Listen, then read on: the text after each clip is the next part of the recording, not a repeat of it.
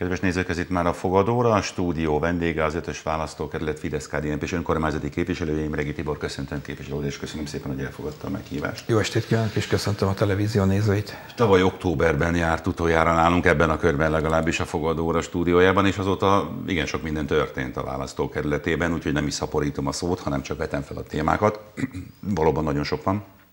Gondolok itt, induljunk el akkor időrendben, én azt javaslom. Igen. Református iskola, zeneiskola és járda rendbetétele, vagy inkább megújítása, hiszen itt már térkörről beszéltünk. Hát igen, én megújításnak nevezném, való igaz, hogy van mit a járdáinkon javítani. Ez most azokon a helyeken, ahol ilyen helyreállítási munkálatok voltak, például most ugye kábelfektetés volt mind a két helyen, ezeken a helyeken itt összekötjük a helyreállítást, úgymond a járda teljes felújításával, és ez mind a két hely olyan pont volt, ahol a járda teljes mértékben megújult, sőt, még mivel ez a belváros részét képezi, tehát dísz, dísz, térburkolatot is kapott, tehát a járda, tehát nem, látványos. látványos, így van, tehát nem aszfaltot. Érinti az ötös választókerületet, mit, hogy érintett, ott található a körforgalom milyen visszajelzés? Most már aztán valóban van tapasztalat, eltelt néhány hónap azóta, hogy ez működik. Önnek személy szerint, mint a választókerület önkormányzati képviselőjének, jutottak-e visszajelzések? Jutottak. Én nagyon sokat járok a körforgalomba, én nagyon meg vagyok vele elégedve.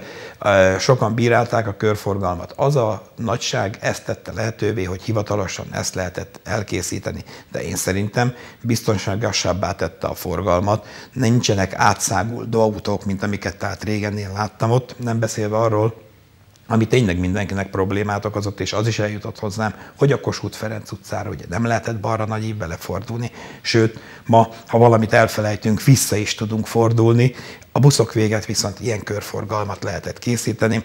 Eleinte voltak némi bírálatok, de most már azért, ahogy megszokják az emberek és látják neki hosszú távon a hasznát ennek a körforgalomnak, azért nagyon sokan mondják, hogy igen, kellett, jól van, így van, lehet közlekedni. Úgy érzi, hogy elfogadottá vált? Én úgy érzem, hogy elfogadott. Én akikkel beszéltem, mondom, hangsúlyoztam, voltak előtte megjegyzések, hogy miért, miért, de hosszú távon úgy nézem, igazol bennünket, hogy ezek az emberek is, vagy mások is mondják, hogy igen, jó, rendben van. Maradunk ott a környéken, Kossuth tér és a Kossuth tér rendezése folyamatban van, és folytatása is lesz. Így van, ígértük annak idején, tehát a választási kampány, vagy a Citromháztól ugye folytatni fogjuk ezt a térburkolat kialakítását egészen a Városházáig. El is jutottunk a Városházához, most már ez az utca ez az oldala úgymond teljesen megújult és nagyon szép európai formáját mutatja.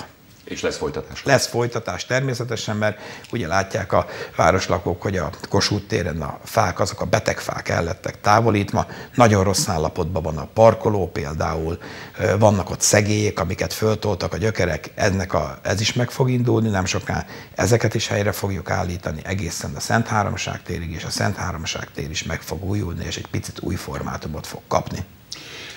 Elszakadva egy kicsit a belvárostól, vagy talán nem is annyira kicsit, lámpa kihelyezésekre is sor került az ötös választókerületben, és akkor itt én úgy gondolom hangsúlyozni kell, hogy hogy itt nem cseréről van szó, hanem új lámpatestekről. Igen, ez teljesen független, tehát attól a lámpacserétől, amivel ugye modernizáltuk, tehát a világítást. Ezek utána történtek meg, olyan helyekre kerültek kihelyezésre a körzetemben lámpák, ahol a lakosság jelezte, hogy sötét az utca, vagy annak idején valamilyen oknál fogva, amikor minden második oszlopra raktak lámpát, bizonyos helyeken volt, ahol nem egy, hanem kettő vagy három oszlop maradt ki. Ilyen helyre poltoltunk, de szintén modern világítás technikával. Vízelvezetés és folyó utca.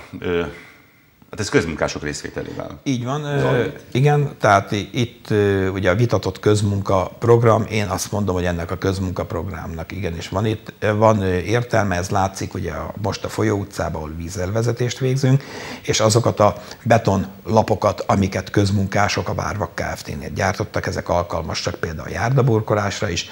Most ott jelen pillanatban ezekkel a lapokkal burkoljuk a folyó utcának a vízelvezető árkait, ezek majd máshol is láthatók lesznek. Bizonyára már a város lakossága látta, hogy az utcáiban megjelentek különféle mérőműszerrel emberek, mérnök emberek. Ők azért vannak, hogy beszintezik a városnak a víz elfolyását, tehát ők majd egy térképet fognak csinálni, tehát nem olyan módon folyik a munka, hogy megfogjuk az árkot, kiburkoljuk, és azért, mert szilárd lesz a burkolat, attól már jól folyik benne a víz, attól még nem folyik jól, tényleg szakszerűen kell lejtetni ezeket a vízelvezetéseket. Igen, hát fölfelé nem folyik. A fölfelé nem folyik a ugye. Ez gyakorlatilag az egész városra kiterjedő felmérésről beszélhetünk? Igen, Tehát most így, előre gondolkoznak? Így van, és... elő, így előre gondolkodunk, tehát ez nem azt jelenti, hogy holnap megjelenünk, és akkor a vízelvezetés is éppen meg lesz csinálva, mert ugye ez egy hosszú idő, de természetesen az egész várost fel kell, hogy mérjük, és ugye most elindultak a városba, a körzetembe is, tehát azoknak az utcáknak, ahol még nem volt útalap, tehát földes utcák, az útalapok elkészítése, és ezért nagyon fontos. Csónak utca. Csónak utca például. Utána megyünk tovább a Székely utcába, és a folyó utcába torkollik bele, mert meg kell oldani a vízelvezetést. Ugyanis ha nincsenek jól elvezetve a vizek, akkor hiába készítünk útalapokat, tönkre fogja tenni az esővíz meg a talajvíz. Igen, az utalap elkészítés, ez már is indult? Tehát ez, ez elindult, most már működik? így van, én most voltam kint, dolgoznak a gépek, úgyhogy halad a munka. Csónak utcába. Csónak utcába, és a székely lesz a következő, ahol megyünk tovább. Padok kihelyezése, szeméttároló kihelyezése, virágtartók, virágok ültetése, fák, ez most így gyorsan így összefoglaltam, ez, ez nagyon sok minden, ami, ami, ami érinti a választókerületét hiszen fákat is ültettek, de hát most nem akarom még egyszer felsorolni. Ezek mikor történtek meg az elmúlt fél évben? Természetesen úgy haladunk ezekkel, és lehet látni a városban, hogy vannak olyan részek, ahol egész sok fát pótoltunk. De vannak olyan, mint például az én körzetemben, ahol a zeneiskola előtt, ahogy helyreállítottuk a járdát, és ott a parkoló részt előtte, ott abban a pillanatban a vagy nem volt fa, vagy olyan minőségű fa volt, ami nem volt érdemes arra, ott abban a pillanatban pótoltuk a fát. Vagy például ugyanígy e, járdát pótoltunk az opálház előtt. Ugye így ismerik az emberek a piacnál, egészen a parokjáig mentünk ebben. A, ott még a vízelvezetők is nagyon rossz állapotban voltak, panasz volt rá, beleléptek ezek a fém dolgok, tehát nem lehetett rajta közlekedni. De ahogy most ott elkészítettük, megújítottuk a járdát, megújítottuk a vízelvezetést, abban a pillanatban új virágtartók kerültek ki, új fákat ültettünk, új növényeket ültettünk, hogy megszépüljön, tehát százszázalékos legyen a munka, amit elvégzünk, nem majd jövőre, nem holnap, hanem mindent készre készítünk.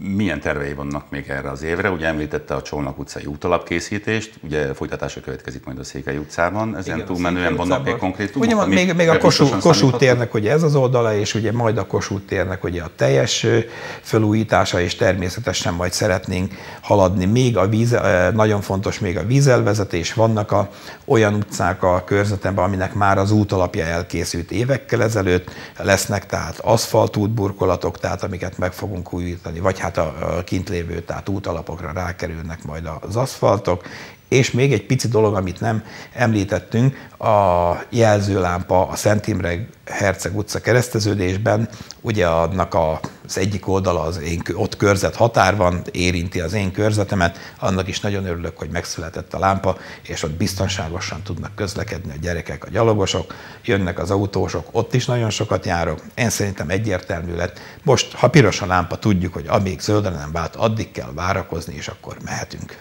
ami pedig a jövőt illeti és a további észrevételeket gondolom várja a választópolgároknak a Igen, így van, így van, ahogy mondtam, tehát a lámpák is ilyen jelzések alapján kerültek ki. Ha van ilyen, én nagyon szívesen várok mindenkitől mindenféle építő kritikát, vagy hát ha a hiányosságokat, ha jelzik, ha nem is másnap rögtön, de tényleg sorba állítjuk és igyekszünk mindent elvégezni.